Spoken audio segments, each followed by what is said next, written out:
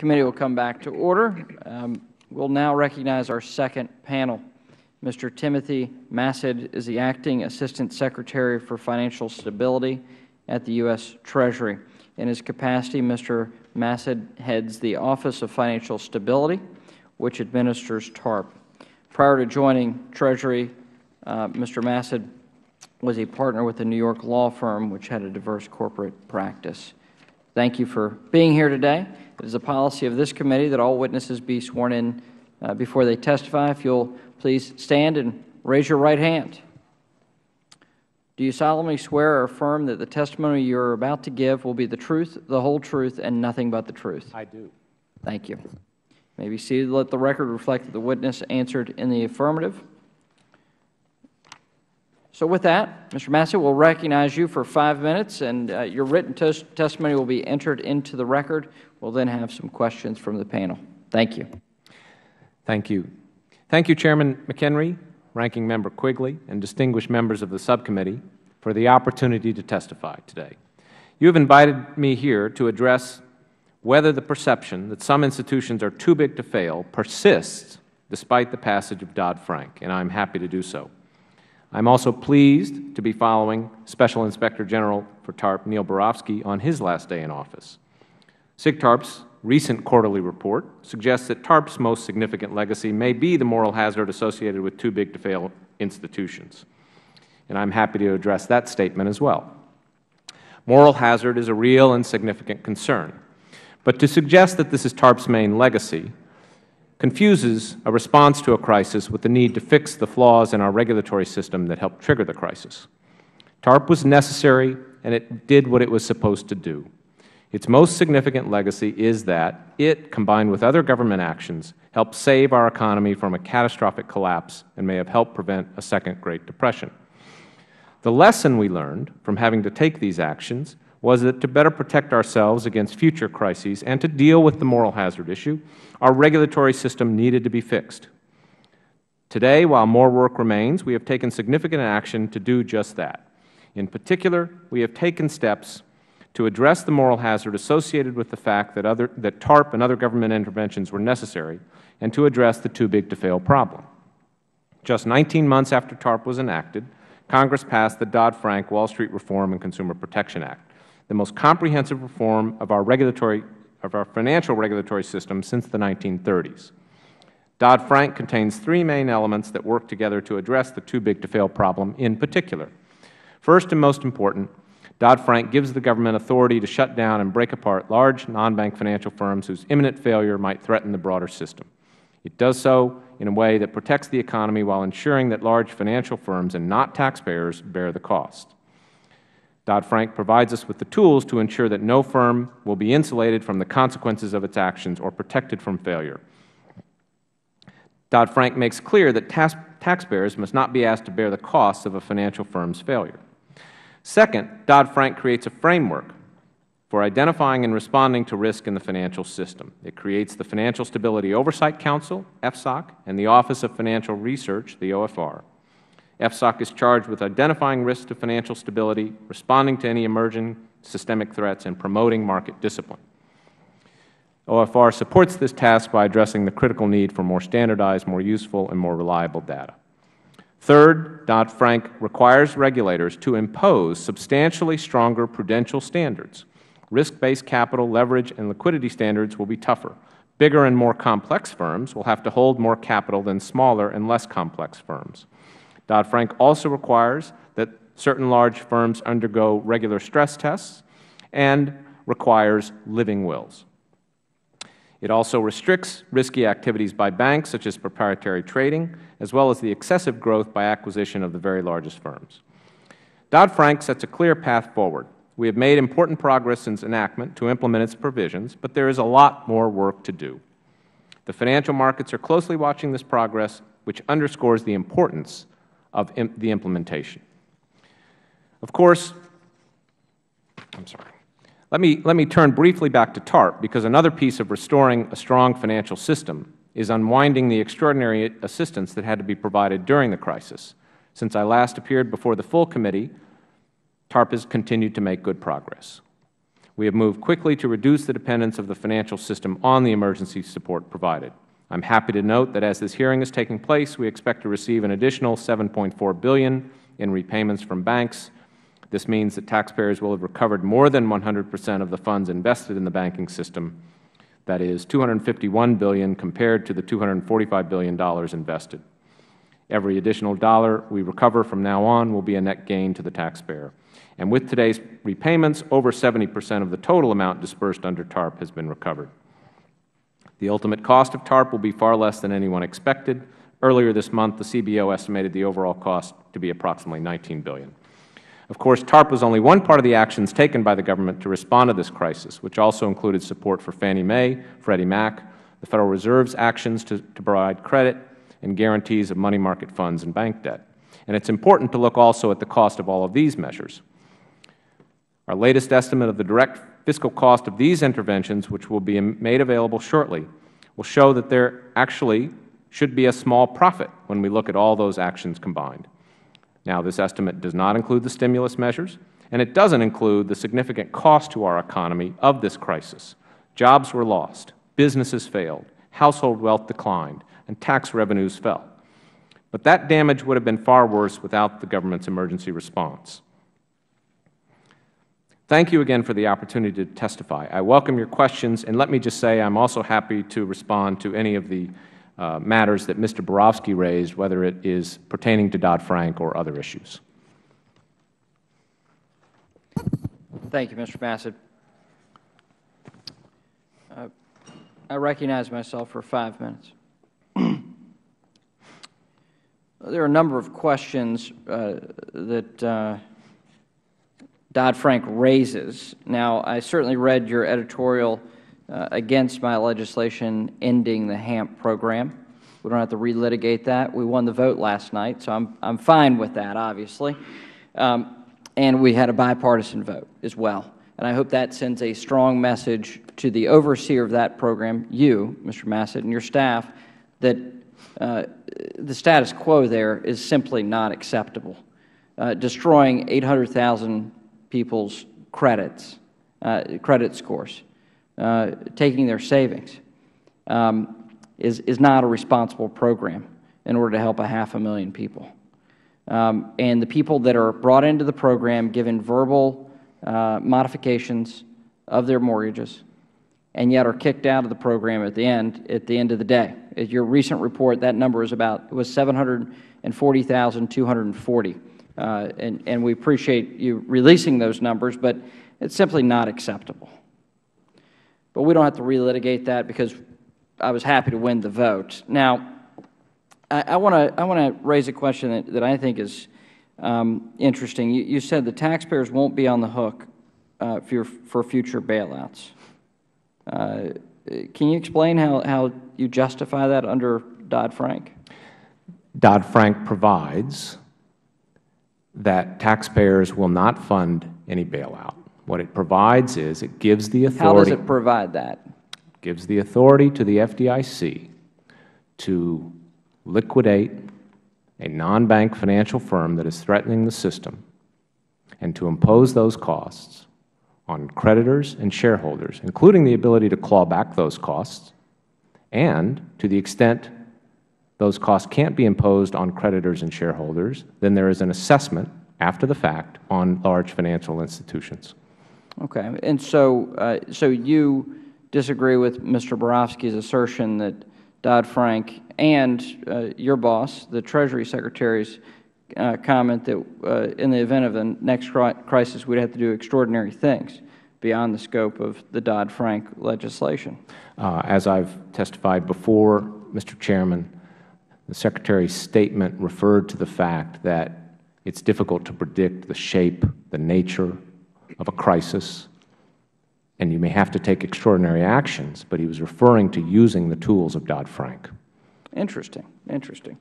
Okay. So another question I have is, um, is Treasury, in terms of looking at financial stability, are you looking at the interconnectedness of our financial markets across uh, regulatory regimes, meaning um, uh, foreign regulations um, and how they are moving forward?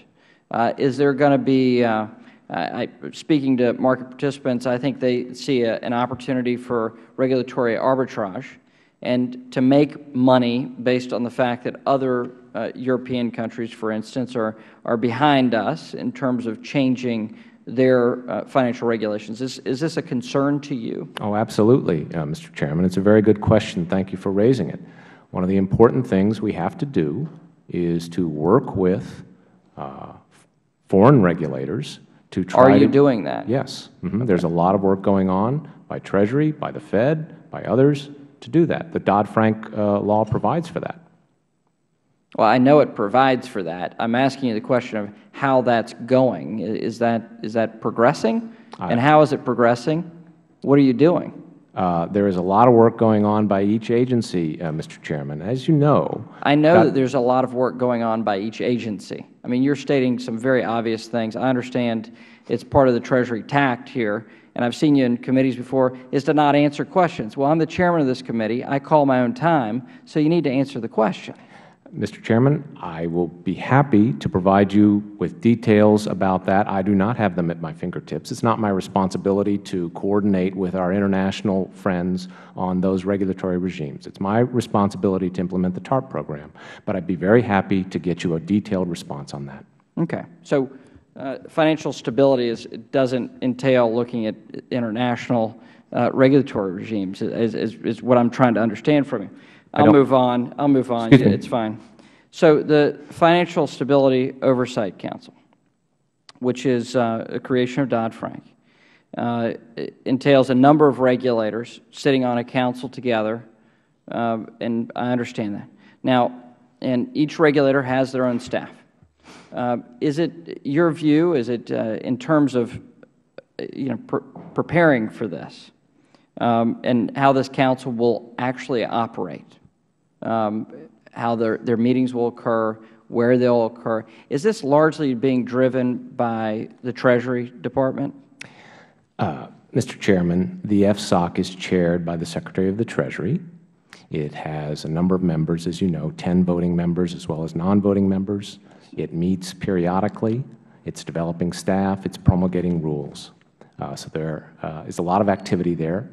Um, and it requires the coordination across all agencies, as you know.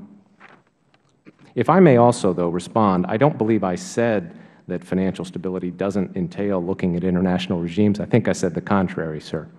And again, I'd be happy to get you details on what's going on in that regard. Well, you said it wasn't your responsibility. That is correct. It's not. My responsibility is the TARP program. Right. And so, okay, fantastic, great.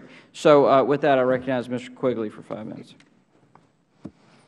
Thank you, Mr. Chairman. Let me ask. Um, good morning. Good morning. Um, questions this morning uh, were brought up earlier about uh, community banks hmm. and the relative disadvantage. That, are you in a position to talk about the comparative disadvantage many of those banks, many of them in my State, uh, are at at this point and what can be done? Congressman, that's a very important question. I'd be happy to talk about that. We obviously have to have a, a thriving community bank uh, sector in this country. We've taken a number of actions under the TARP program to do that. We funded, the Obama administration did not provide any funds to large banks. We provided uh, funds to about 400 small banks, and about 650 small banks were funded under the program. The Treasury also pushed for the implementation of the Small Business Lending Fund to provide additional assistance to those banks. Uh, the differential you have referred to is, is important, and I think once again Dodd-Frank provides us with some tools to address that.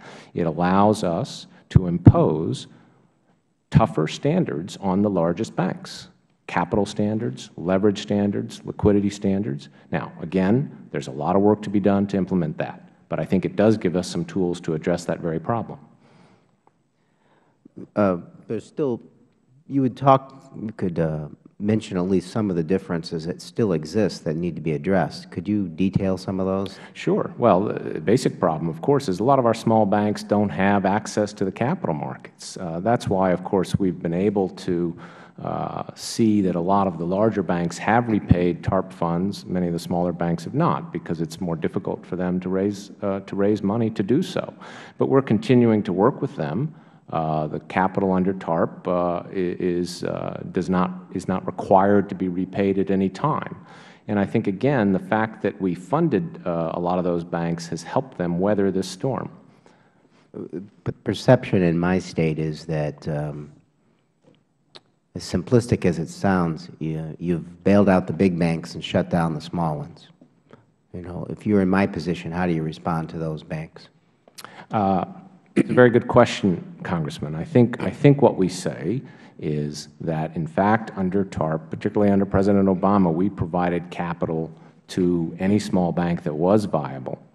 And we ended up providing that to, as I say, overall in the TARP program, about 650 banks. Um, and we are continuing to work with them. Now, the, the issues you have raised as to whether big banks have an advantage, again, I think the Dodd-Frank Act is meant to provide us with tools to level the playing field. It needs to be fully implemented. Longer discussion at some other point. Let me shift gears just for a few minutes. Um, March 21st of this year, Forbes reports that uh, Goldman Sachs and others are skirting the Volcker rule by saying that it doesn't apply to long-term principal investments. What has Treasury's reaction to that been? Uh, Congressman, I am not familiar with the particulars of implementing the Volcker Rule. I would be happy to get you a response on that. Okay. Thank you. I uh, yield back.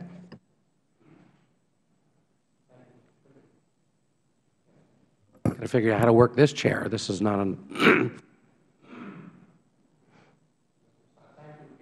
a time to uh, to be before our committee, and and um, you had identified at the outset of your comments that one of the things that you would do is to try to be responsive to any comments that were made by the, uh, the gentleman who testified before you.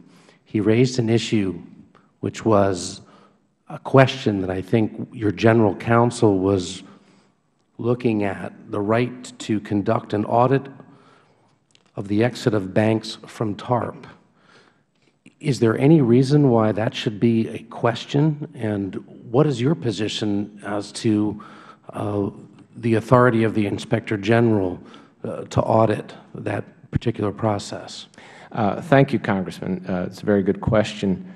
Uh, I believe that issue goes to whether SIGTARP or the Treasury Inspector General has jurisdiction or what each of their jurisdiction is.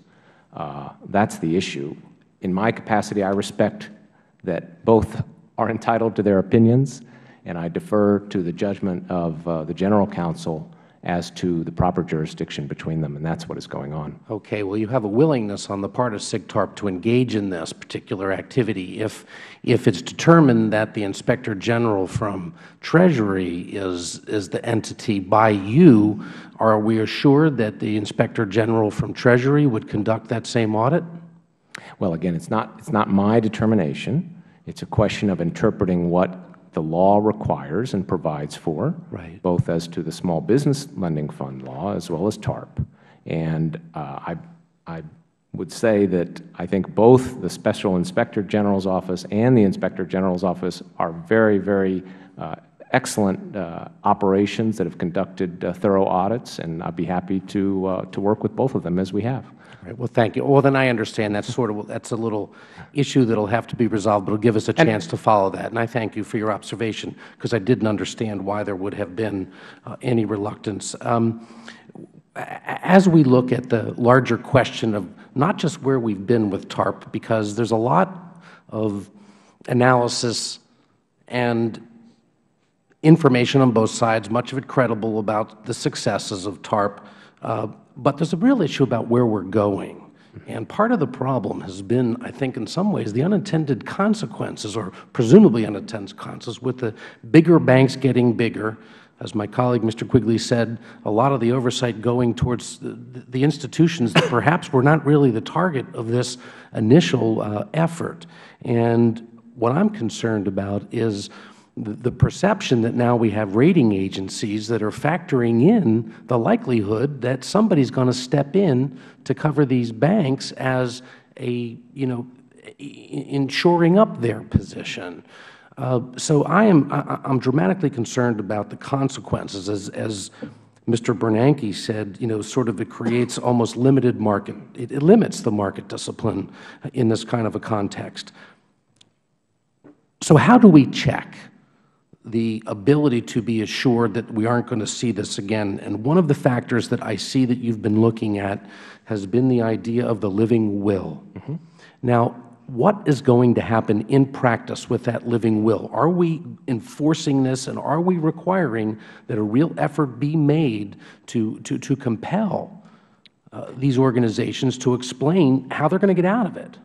Absolutely, Congressman. It's a very good question. And I, I was rather surprised by Mr. Barofsky's comment that somehow Treasury was opposed to this. It's a requirement of Dodd-Frank.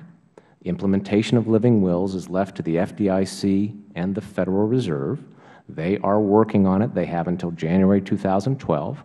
But it was, it was part of the original proposal that Treasury made, and we've, uh, we've backed the concept the entire time. But you're absolutely right that that is a, a critical tool, and how thoroughly that is enforced, I think, and how, how uh, thorough those plans are will, will make a critical difference. Let me just add also in terms of the rating agencies, they are obviously watching this very closely as well. They should. But I think, again, they've made it clear that what they're doing is monitoring it. They're seeing how we develop. Uh, but they're factoring in. I mean, they're not just Absolutely. monitoring. They're making they're making calculations, and the calculations they're making is that we're rating these banks, giving them a preferential position with respect to the rest of the market, based on their confidence that effectively somebody else is going to step in. That that is correct, and they're doing that worldwide. But they've also said we are closely monitoring the situation to see how these resolution regimes are implemented and to see if there is the political will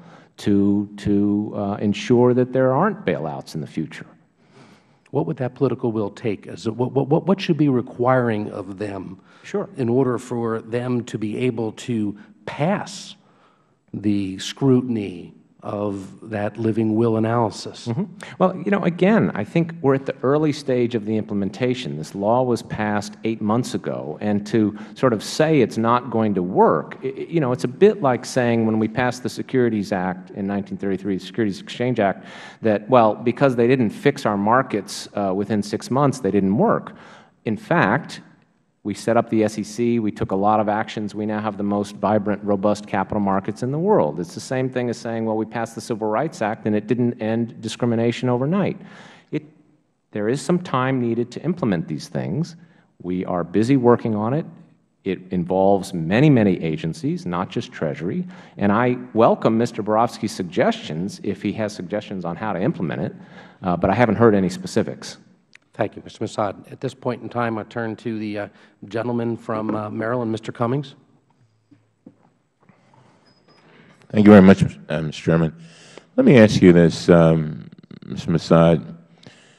You heard the testimony of uh, Mr. Barofsky, did you not? Yes, I did. And um, when you were here before us before, you talked about, you said that there was going to be some retooling, and basically, if you were to, if I were to sum up, that is with regard to the HAMP program, if I were to sum up what Mr. Barofsky said with regard to the HAMP program and your retooling, is that uh, it may, it's a little late, but at least you're, it seems like you're aiming in the right direction, but it seem, he doesn't seem to have a lot of confidence based on the past that your department is going to do very much of anything, uh, even even under the uh, threat of demise of the program.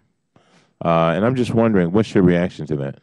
Uh, certainly, Congressman. Thank you for the question. I, I, I, guess my reaction was once again to be a little puzzled. I, I felt like there was strong criticism, but I, I didn't hear a whole lot of specifics. Um, you know, SIGTARP has made uh, about 18 recommendations to us on the HAMP program. We've implemented 14 of those. The, the, the ones we didn't implement basically would have made it harder for people to get assistance. They would have required us to thumbprint anyone. They would have required more documentation about income, comparing their, doc, their income today to when they got their mortgage. and other things like that. And the last recommendation, specific recommendation we got was uh, in April of last year. Now, lately, he's said, you know, the program is a failure. Um, but again, we haven't seen anything specific. We made an announcement yesterday that we are expanding our compliance reporting, and we will withhold uh, incentives. Again, on that, you know, what we did from the outset was we had a very uh, strong compliance program to try to get servicers to fix the problem. There wasn't, frankly, we, we, we only pay money when they actually enter into the permanent modification. They weren't entering into the permanent modification, which is why we focused on remedial actions initially. But you understand there's a lot of frustration on both sides of the aisle. And the, and the question is, is what can we do past the conversation to really affect more people? Is there mm-hmm. something that we need to do differently? And I'm, for one, and I know many of my colleagues, uh, voted against the bill yesterday to end the HAMP program. But, me, but most of us said to ourselves and to each other that Treasury's got to do better. I mean, that's just real. And so I just, I'm just wondering, what do you, what's going to happen? We can't keep going down this road to where we're going because there are a lot of people suffering. And with all of that money out there, I think it just gives the opposition more ammunition to not only um, destroy the program, but also not replace it with anything. And that goes against everything that we're trying to accomplish. So I just want to know what your reaction is to that. Well, you're absolutely right that, that those people who want to end the program have not offered any alternative. Um, we continue to, to look at ways that we can improve it, but um, it's a very difficult issue. We have a lot of people who have spent a lot of time on this, and believe me, if, if there was a silver bullet, if Mr. Barofsky knows of a silver bullet, he certainly hasn't told us, uh, it's not easy. At the same time, the program is continuing to help tens of thousands. It is affecting people indirectly through the standards that we're setting. We're separately Do we, do we need to raise the standards? Yes, absolutely. I mean, we need national servicing standards, and there's a lot of activity going on in that regard, as you know, uh, both through the, uh, the discussions on the foreclosure problems and otherwise, and I think we'll, we'll see that coming. We're very committed to that. So, um, and we've also met with members of Congress about specific things that need to be in those uh, national servicing standards. One of the things that Mr. Ro- Barofsky said, too, with regard to too big to fail, he said that the, in Dodd-Frank, there are the tools there, and I think you agree with that. But he said that he does not believe that the administration has the will to, to really carry it out. And I want you to comment on that. But I also want you to comment on this other uh, issue that I brought up, and that is that if we uh, take substantial funds away from your budget, how would that affect that uh, and that market perception that he talked about so much? Congressman, I agree 100 percent that taking away funds from implementation at this time, whether it's Treasury, SEC, FDIC, CFTC, because they all have responsibilities here, would not be a good thing. We, we need to make sure we vigorously enforce this. As to Mr. Barofsky's comment, I, again, I don't know what specifics he's referring to. The implementation process is an open one. There are, there are a number of rulemaking proceedings going on. If he has comments on those, he can make them. If he thinks that uh, certain things aren't happening fast enough, he should, he should point that out. Thank you very much, Mr. Chairman. Th- Thank you, Mr. Cummings. At this point, the gentlelady from New York, Ms. Buerkle. Thank you, Mr. Chairman, and thank you, Mr. Massad, for being here this morning and your willingness to testify. I um, am looking at your opening statement, and I just wondered if we could flesh out a couple of uh, items that are in your comments here this morning. Uh, In reference to Dodd-Frank, and you you listed three points for us.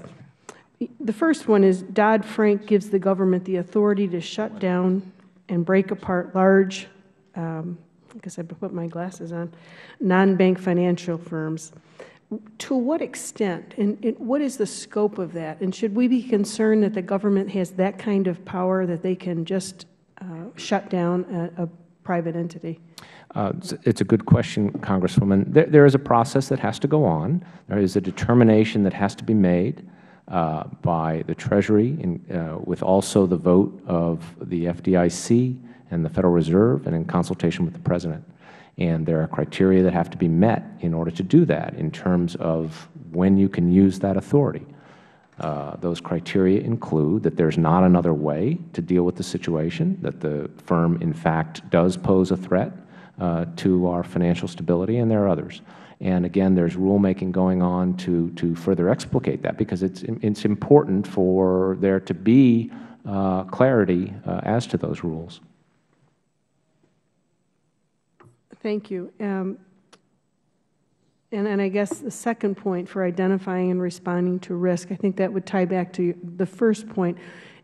Are there certain uh, benchmarks that you're going to look for, or what that will identify that, that someone is in trouble, that then the government needs to take this aggressive action? Sure. And again, there are, there are standards in the law that now have to be implemented and fleshed out more. But, you know, I think the key thing to remember here is that prior to the passage of Dodd-Frank, we, we regulated entities based on the type of entity. And we didn't have a comprehensive way of looking at risk to the system. And that's what we have now, and that's why this, this law is so important, and that's why implementation of it is so important. And we can take, we can take proactive measures to impose uh, prudential standards, whether it be capital, leverage, liquidity. We can limit risky activities. And there's a whole process where even before you exercise the, the liquidation authority, you can impose restraints on firms. So it gives us a lot of tools. But again, uh, they need to be implemented. I guess going along with that uh, gives you the tools. And at what point, what is the concern that the government, many feel, Dodd-Frank, and that it's an overreach? And, while we always, we want to prevent what happened, uh, the meltdown, we, we want to still maintain free market. And so at what point does the government step back and say, we're not going to get involved? Sure. Well, obviously there is a balance there. I think Congress struck the right balance in, in the Dodd-Frank Act and giving us those tools. But the, you know, the, the answer to your question really gets into the details of how it's implemented. And that's why, again, it has to be implemented uh, thoughtfully uh, uh, over time. And that may change over time. As our, as our financial industry changes, we're going to have to change how we look at it and how we think about uh, risk. And then just one more question regarding your testimony. Uh, you talk about Dodd-Frank, you say, but much work remains to be done. And can you just expand on that briefly? Certainly. Uh, there are about 250 rulemakings that have to happen. There are about 70 studies, one-time studies that have to happen. It involves efforts of many agencies, uh, not just the Treasury, not just the FDIC, but also the Federal Reserve, the SEC, the CFTC, and others. And so that's, that's the work I'm referring to. A number of those things are, are, uh, have already been done or are in process. A number of proposed rules are out there, but there is a lot more work to be done. Thank you. In my few seconds that are remaining here, I just have one last question. I mean, the government now is a player and a referee. And do you see an, a conflict in all of this? Well, I don't, I don't think we want to want the government to be a player in the sense of having interests in firms. That's why we're trying to unwind the TARP program so quickly, for example, and get out of the business of owning stakes in private companies. And as I said, we've been very, very successful in doing that quickly. I think the government needs to stick to its role of regulating risk and monitoring risk and taking action when firms pose risks to the system. But clearly, we have to have a system where there is no firm that is, that is too big to fail, and that firms fail as a result of uh, the actions they take. Thank you very much. I yield back. Thank you, Ms. Buerkle. And the Chair now recognizes the gentlelady from New York, Mrs. Maloney. Thank you, and, and welcome to the committee again. Um, Thank you. During the financial crisis, uh, some firms became uh, so risky, they were so risky and so interconnected that their failure was a, a threat to the broader economy.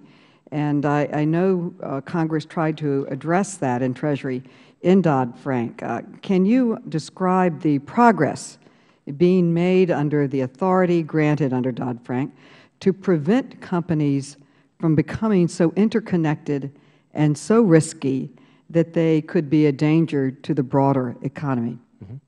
Well, um, yes, thank you for the question. Um, there are a number of efforts going on in that regard, looking at uh, the riskiness of activities. Um, for example, the FSOC will make determinations about which firms pose those sorts of risks based on not just their size, but also their interconnectedness, their leverage, the nature of their activities. And that work is ongoing. Those determinations haven't been made yet. Uh, they will be made by the FSOC, which, as uh, I noted earlier, is comprised of all these various agencies. Thank you. One of the factors that led to the, the financial crisis was the evolution of what we call the shadow banking system, uh, where the purchase, sale, and trading of derivatives had grown to uh, be a trillion-dollar business, but it became very evident during the crisis that uh, people, Treasury, even the companies, didn't, did not understand the scope, location of the risk, uh, the size of it, uh, I can recall AIG coming before this committee saying the threat was only 50 million, and then later it became billions and billions and billions uh, coming. Uh, there was no control, no understanding of even the location, the size. Uh, can you can you comment on uh, what advances you've made on the derivative market and bring it into the light of day to ensure that it can exist without posing a threat to um, financial stability. Certainly, uh, Congresswoman. As you know, Dodd-Frank does provide provisions uh, for uh, greater transparency and regulation of the derivatives market, and we did not have those uh, previously. And there is a lot of work going on uh, in that regard. Now, can, that, can you specify the, uh, the, Congresswoman, I'm not directly involved in that mm-hmm. work. Again, I'd be happy to get back to right. you. That involves Treasury, but also the, the, the SEC, the CFTC. So but I'd be happy to arrange that for you.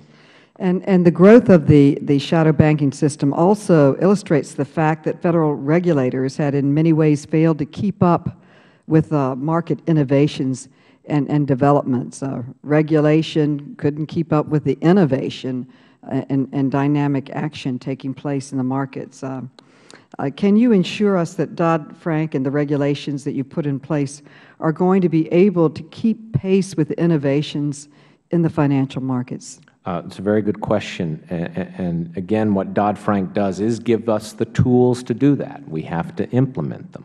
Uh, but previously, we didn't have a system where we could look at risk across our entire system. We regulated banks.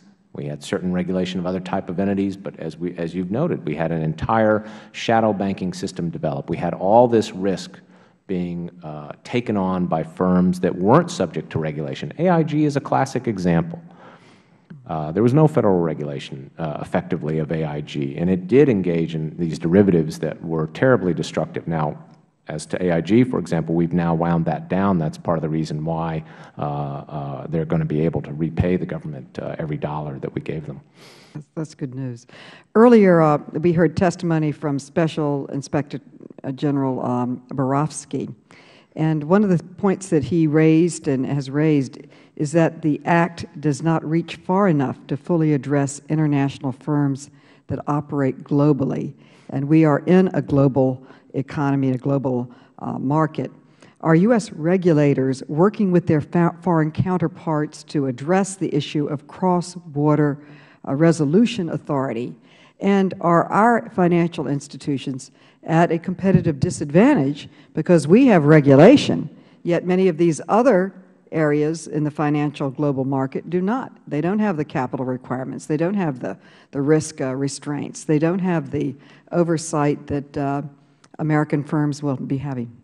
The, the uh, Congresswoman, thank you for that. The, the, the, international coordination piece of this is very critical. We, we're dealing in a global world. We have these large institutions who aren't just national institutions. They operate uh, worldwide.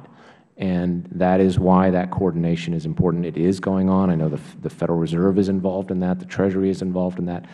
I'd be happy to get you more details on uh, what is taking place in that regard. But obviously, Congress couldn't legislate uh, something that mandates what uh, our foreign counterparties do, but it, it requires us to engage in uh, cooperation and coordination with them. Well, the, the Basel talks, uh, where do they stand? They, they're going to have international capital requirements. They uh, will. But, and where does that stand now? That, that is right, and that will result in, in higher capital requirements that will be phased in over time that are badly needed. Uh, fortunately, our, uh, many of our institutions are better capitalized today than their, than their foreign counterparts, but we need to see, we need to phase in those, those tougher standards. Well, my time has expired, and thank you for your service. Thank you. Thank you, Ms. Maloney. Let me turn now to the, uh, the gentleman from Illinois. Um, Thank you, Mr. Chairman. And, and Mr. Massad, thank you for uh, your uh, testimony today. L let me ask you a, a, just a, a, brief question or two uh, related to the insurance industry. Um, I've heard from a number of people uh, of late who've expressed concerns with how Dodd-Frank has and will affect the insurance industry. You know that insur insurers are already heavily regulated at the State level including an industry-funded state guarantee system that helps secure policyholders in the event of an insurance company failure.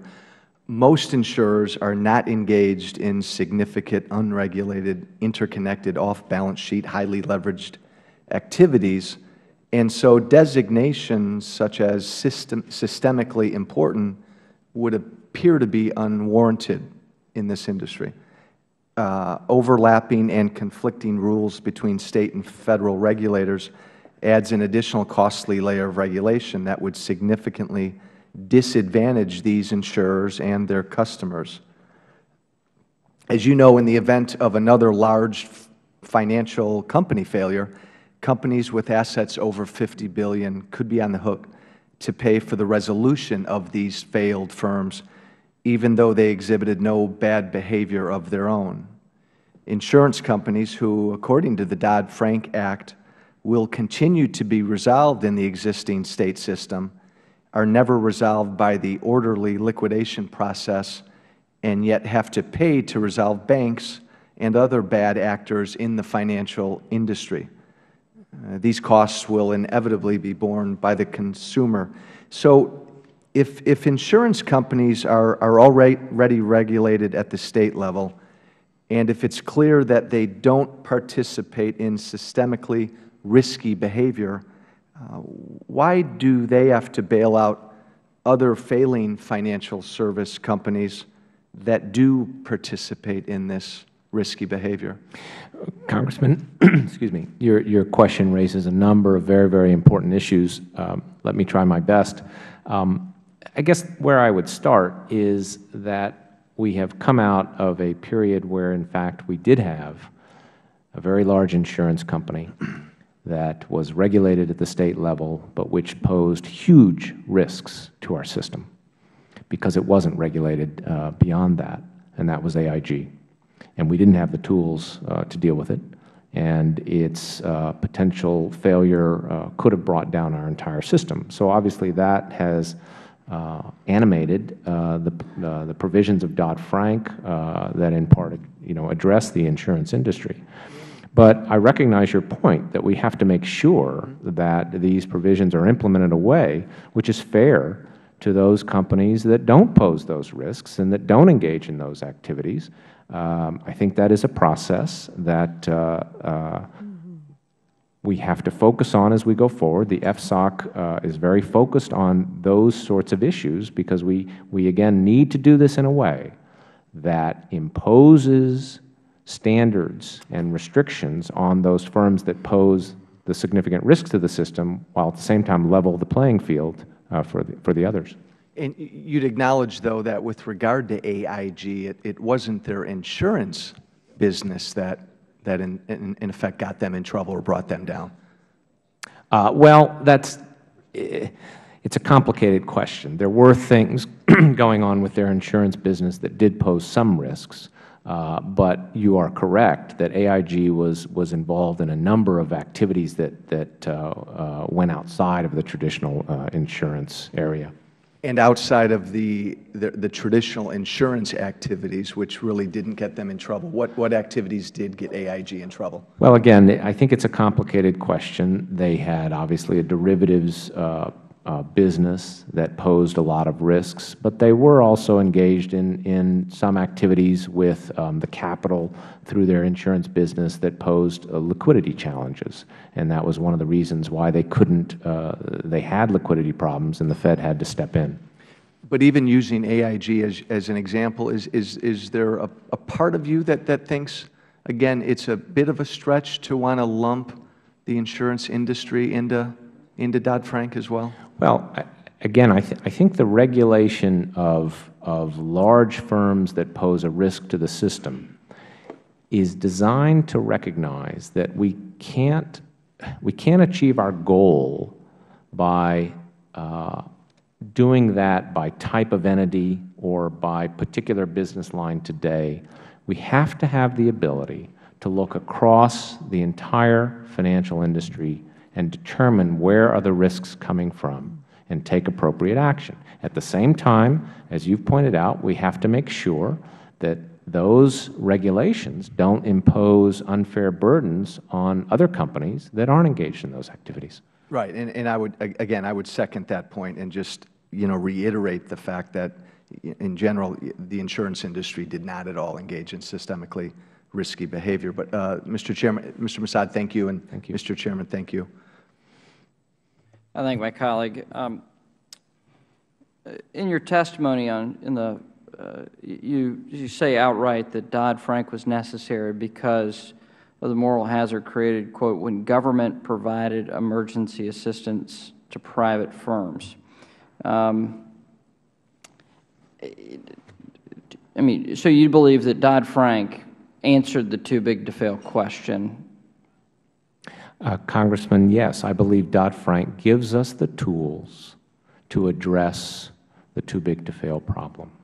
And so too big to fail is no longer uh, permissible? Well, Congressman, uh, Chairman, Mr. Chairman, uh, as I said when you were out of the, out of the room, you know, it, it, we have to implement the law. The law is not a magic wand. Uh, it's a bit, as I said, like saying when we passed the Civil Rights Act, that didn't eliminate discrimination. Uh, we have a lot of work to do. It's a heck of an analogy. Um, uh, in, to, in today's uh, Financial Times, uh, uh Alan Greenspan uh, said, quote, the financial system, or wrote, I should say, quote, the financial system on which Dodd-Frank is being imposed is, for more, is far more complex than the lawmakers and even most regulators apparently contemplate we will almost certainly end up with a number of regulatory inconsistencies whose consequences cannot readily be anticipated. Do you agree? Um, no. I guess what I would say is the question is what is what are we saying would be the alternative? I don't think anyone would say that we would be better off without the tools that we've now provided for through Dodd-Frank to regulate risk, to impose higher prudential standards, to be able to prevent a firm from, from uh, threatening our entire system. The question is, again, we have to implement those wisely. Are we doing that? I think we are doing that. Okay. Uh, under Dodd-Frank, uh, to continue with Mr. Greenspan's uh, piece in today's Financial Times, under Dodd-Frank, the regulators are being entrusted with forecasting and uh, presumably preventing all undesirable repercussions that might happen to a market when its regulatory conditions are uh, importantly altered. No one has such skill. Do you agree or disagree? Well, I, I think, again, we have to uh, try. I don't think any of us want to be in a situation that we were in uh, in the fall of 2008, where because we had a regulatory system that had been outgrown. We had a financial industry where there was huge amounts of risk being taken on without transparency, without uh, adequate regulation, and that's what contributed to the crisis we had. I think because of that, we learned the lesson that we need to overhaul our regulatory system. That's the judgment Congress has made, and I think the task is now to implement that judgment. Well, uh, Mr. Barofsky and uh, a number of folks have testified that uh, during the last uh, financial crisis in 2008, that the, the laws that we had then, we could have uh, prevented the crisis. Do you agree? That's news to me. Um, I'd be happy to uh, to discuss that with Mr. Barofsky. Okay. So uh, basically, okay. So it's your view that Dodd-Frank has, has ended too big to fail? As I said, Mr. Chairman, Dodd-Frank gives us the tools to address the problem. Okay. Um, now, moving back to HAMP, and I want to give you an opportunity to respond uh, now in our second round here. Um, you know, you, you made an interesting face when I was saying that, you know, we have 740,000 homeowners who have actively been harmed by this program. Uh, do you disagree? I, I, do, sir, and I, I appreciate your... So the folks that have fallen out of this program, right, that enter into the program, uh, you know, you tout uh, 1.4 4 million? Is that the number you're Trial modifications, okay. that's correct. Trial modifications. Yeah. Now, do you understand that when they're entered into a trial modification, they are told verbally that and oftentimes they're going to make a lower monthly payment going forward. Are you aware of that? I am, sir. Okay. Now, in a trial modification that is verbal, as all these are verbal, when you're paying less than what is contractually obligated by a homeowner. That harms your credit. Are you aware of that? Um, Mr. Chairman. Are you aware of that? Yes or no? Mr. Chairman, if I can answer how the trial modification works, because I think it is important to have all the facts on the table.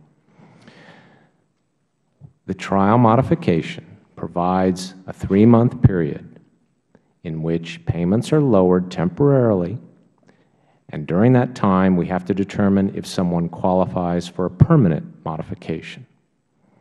What we did at the outset was we allowed people, we allowed servicers to accept people into trial modifications on the basis of what we call stated income. You could basically raise your hand and say, this is how much I make, I qualify. Because it was a terrible crisis, because we had a lot of people who were I in need. Understand. I read your editorial. The point I'm asking Okay? And I know you're, you know, trying to go through all this. I understand how this works operationally. Mm -hmm. I want to make sure that you understand how this works. So when you're given that verbal modification, this temporary modification, does that hurt your credit? Mr. Chairman, I You're not answering the question. Well, it either does or it doesn't. If it doesn't hurt your uh, credit, I, I think the answer can't be given as a simple one without, again, looking at what happens to those people. If I may answer, can I answer the question in this regard, if, you, if you'll allow me? You, you refer to all these 750,000 people being hurt. We actually 740,240, according to your last report. Thank you we actually publish statistics on what happens to those people. Now, those statistics are based on servicer surveys, but it's in our monthly report, and it shows what happens. The majority of them ended up in alternative modifications or alternative payment plans or are current. Very few of them went to foreclosure. Do you believe that HAMP has harmed any borrower? I am sure there are people who, who were harmed. How many? I, I don't know the answer to that. I thought you published statistics about what happens. Uh, Mr. Chairman, we publish a lot of statistics, and I'm trying my best to address your concern. Uh, I, think, I think it's important to remember that whenever you implement a program like this on a massive scale in a crisis, what we were doing is buying time for people.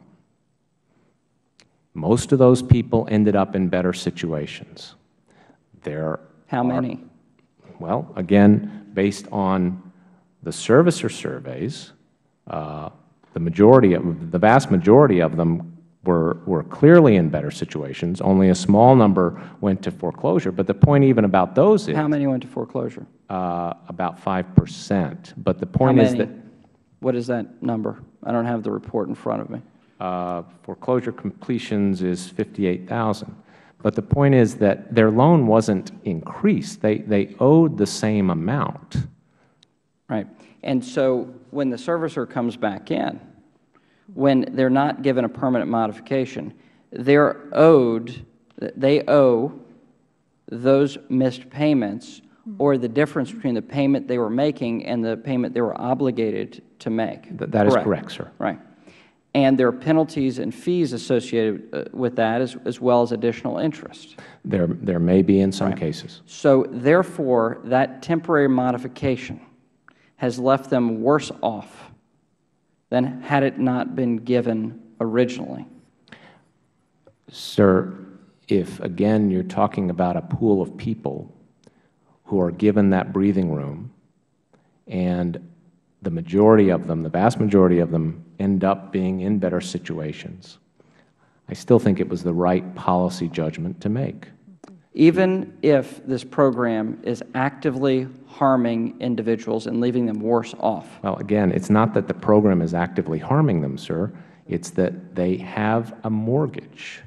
They owe the same amount. It should have been explained to them that if they didn't get the permanent modification, they would still owe what was previously due.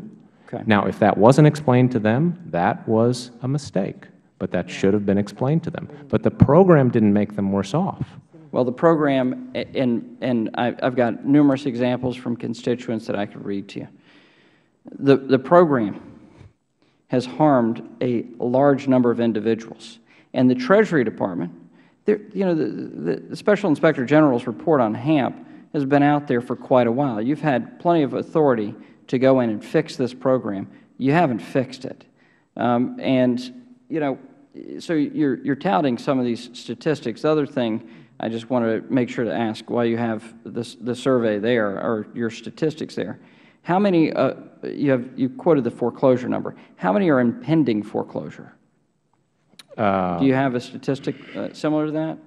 Foreclosure starts of those not accepted for trial modifications is 163,000. Now, a lot of those could have been in foreclosure starts even before they went into the trial. Okay. Well, look, I, I wanted to give you an opportunity to respond. If you'd like to add anything else, I'd be happy to give you the opportunity right now. I'd be happy to. Again, I think we faced the worst housing crisis of a generation. We were trying to roll out a program that could help a lot of people. A lot of people were already delinquent for months. So we were trying to create some breathing room. Most of those people are in better situations. Those that are not, I think, again, their mortgage didn't increase because of HAMP. They simply weren't accepted into the permanent modification because we have very prudent eligibility criteria so that we spend taxpayer dollars wisely. Thank you. Uh, Ms. Maloney? Thank you. Uh, First of all, uh, Mr. Secretary, Deputy Secretary, if I, c- could I request to have your, uh, your, your, your op-ed, your editorial placed in, in the record? And I, I would like to say that uh, Without objection. At meetings with the, the HPD department in the city of New York, they are very grateful, as are the 35,000 families that were able to stay in their homes because of the HAMP program. I, I would, uh, with all respect, say that it is very easy to throw stones and criticize. It is harder to come up with a program that addressed this crisis, which a large part of it was the housing crisis. And for every person who stayed in their home, not only did it help that person, it helped their community because vacant homes bring down the, the, the, the, the, the cost, the, the value of housing for their neighbors. It, it helped their communities, it helped their city, and it helped with the overall financial stability of our country. Mark Zandi and other economists have testified that housing is roughly 25 percent of our economy. So if we do not stabilize housing and, and grow in housing, we are not going to stabilize out of this Great Recession. Now, I am very concerned that the Republican majority in the past three weeks have eliminated four critical housing programs that helped people stay in their home. And I would say that it is very, very uh, dishonest to criticize a program for not helping people that had no help to begin with and they didn't get in the program because they did not meet the high criteria that the program had that tax dollars would not be spent unless people had a job, had a credit record, and were believed to be able to meet that commitment going forward. Uh, so I want to congratulate the Treasury Department and really the Obama administration for not just criticizing and saying we have a problem, but getting out there and doing something like FDR. When FDR had a problem, he didn't just look at it, he started working on it. And granted, not every program works, but come in with some ideas of how to make it better. But to come in and criticize a program when you have no ideas of your own, when you haven't come forward with a program, when you haven't done anything to help the people, and I would say the overall economy. Uh, so I want to congratulate you on the work that you've done. I support the HAMP program. I hope that President Obama has a lot of veto ink in his pen, and if the Republican bill gets to his desk, it is my hope that he will veto it. And I respectfully ask the majority if they will have a hearing where we can bring in HPD directors from across the country, people on the front line that were working with our government to help people stay in their home. In the city that I represent, are the officials that do this every day, the not-for-profits that are committed, and the banks that have voluntarily stepped up to the plate to help have said this program works. So instead of just being critical, come up with ways to improve it if you think there's a problem, but to criticize because people didn't get into the program because the criteria was so high, and I, I agree with the pro, pro proposal from, from Treasury to keep that uh, criteria in a way that protects taxpayers' money. Now, I, I, would like to move on to the TARP workout. And uh, I, I really want to quote from an article that was written recently, October 20th, uh, 2010, in, in, in, Bloomberg. It's one of our uh, big um, papers and, and, and, media experts there. And uh, they, they testified, and I'd like your response to this, Honorable Massad, uh, that TARP investments have actually provided taxpayers with, and I quote, higher returns than yields paid on 30-year Treasury bonds, enough money to fund the Securities and Exchange Commission for the next two decades. The article also states, and I quote, the government has earned 25.2 billion on its investment of 309 billion in banks and insurance companies, an 8.2 percent return over two years. Now, that beat out U.S. Treasuries, high-yield savings accounts, money market funds, and certificates of deposit. Am I correct? Um, Congressman, you are correct that we have had some good returns on the programs. I'm not familiar with those exact numbers, but the bank program is making a profit and, and some well, of the well, other Could I ask, could you just describe generally the ways in which uh, Treasury is seeking to maximize taxpayers' investment under TARP and ensure that our country and taxpayers are made whole. Certainly, Congress, Congresswoman. Let, let, me first just say that obviously the purpose of TARP was to, to stabilize the system, not, not to make money. But it is, it is terrific that this program will not cost the taxpayers uh, very much, and we are looking to maximize the returns on the various programs. Uh, as I say, we've earned about uh, 20, we estimate we'll earn about 20 billion on the bank investments. Uh, AIG right now is at a profit. We will have some loss on the autos. Let me just note one other thing, though, going back to HAMP, because, and I apologize to the Chairman, I, I misquoted the numbers. Uh, in terms of those who were, were in trials and didn't make permanent mods, they're actually about half of what I said. uh, the foreclosure completions are only 28,000 and the foreclosure starts are only 84,000. Uh, gen- Gentlelady's time has expired, and uh, with that, I I gave the gentlelady six minutes, and I'll give the ranking member six minutes since I went well over my time. I want to, out of fairness uh, to all that are here. Uh, uh, I'm sorry, I'll give the ranking member, I'm I'm sorry, um, uh, Mr. Cummings, six minutes now. Very well, Mr. Chairman. Thank you very much. I do want to associate myself with every syllable that Ms. Maloney just said. I, um, I think it's, I think part of the frustrating frustration, Mr. Massad, is, and I think you you're well aware of this. We want even more people to be helped because there's so many people suffering. Absolutely. And I guess the reason for the criteria was the dilemma that people didn't want a program, I mean, the Congress didn't want a program that would, um, would be so, standards would be so low that there would be a lot of people failing. Is that part of the reason? Well, I, I think it's, it's a few things. Um, you know, we did have what we felt were very prudent eligibility criteria. We don't, for example, provide modifications for vacation homes, for vacant homes. We don't provide assistance for those people who can afford their mortgage without it. We don't provide assistance for those who need to move on to another situation. And we make sure that the mortgage, uh, the modification is economically uh, makes sense. And as a result of that, the pool of people that are, we currently estimate are eligible, as, as you probably know, is about 1.4 million today. That's a pool of families. We've reached a lot of those. We want to continue to reach more of them. But it's a very difficult problem. Uh, we've had a lot of people looking at whether there are other ways we can do this. Our authority to implement new programs, you know, as you know, has expired.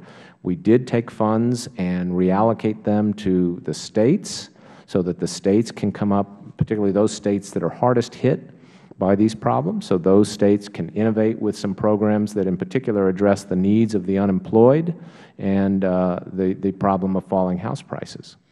Now, do you, um, and early on, much has been made with regard to the whole issue of um, that it was projected by the President that more people would be helped by HAMP than was.